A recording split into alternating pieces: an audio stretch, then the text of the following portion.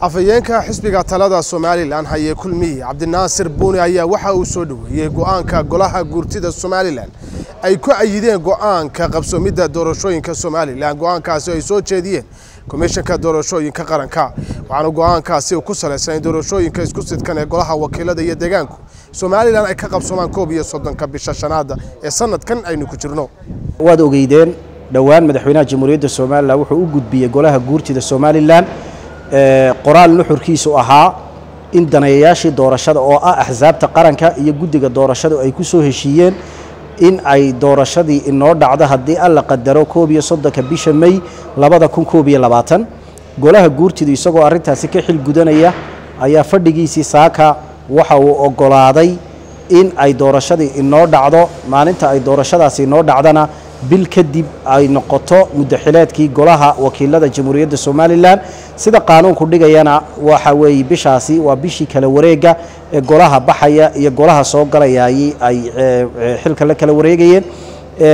Markaa waxaan leenahay xisbi ahaan golaha guurtida somalilan oo arintaasi ka xil gutay qadariyey heshiiskii axsaabta qaranka qadariyey soo jeedintii waxa weye guddiga doorashooyinka qaranka inaanu xisbi ahaanna annaguna tahniyadayno.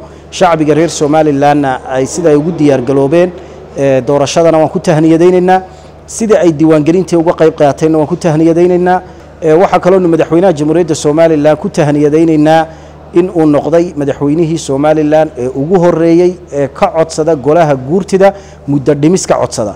Taana taariikhda ayaa xusi doonta waxaana ka go-an madaxweynaha somalilan mudane muuse biixi cabdi ahna guddoomiyaha xisbiga talada haya somalilan in dalkan doorashooyinkiisu ay wakhtigoogii ku dhacaan in wax kasta oo waxa weye qaranka somalilan uu ku taabagalayo aanu waxa weeye cidna uga habranin isla mar ahaantaasina cidna aanu waxba ka sugin ee qarankan isku tashado.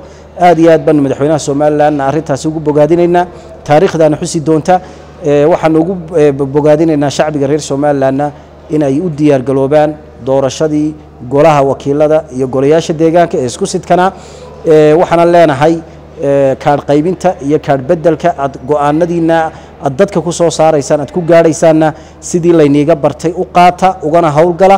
Afhayeen cabdinaasir buuni sidoo kale waxuu hambalyo u diray dhammaanba ciidamada qaranka somalilan oo ku beegan sanad guurada toddobiyo labaatanaad ee ka soo wareegtay markii dhidibada loo taagay.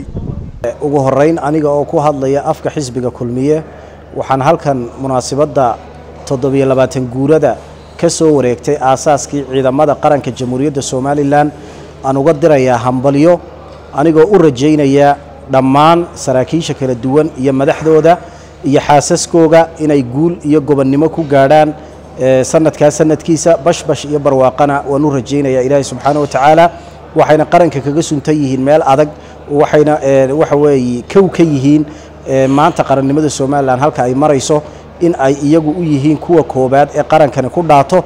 Isla mar ahaantaasina waxaanu xisbi ahaan u rajaynaynaa caafimaad qab iyo guul waarta in ay ku gaadhaan sanadkaa sanadkiisa cabdirashiid cabdiwahaab xuseen universal t v. Hargeys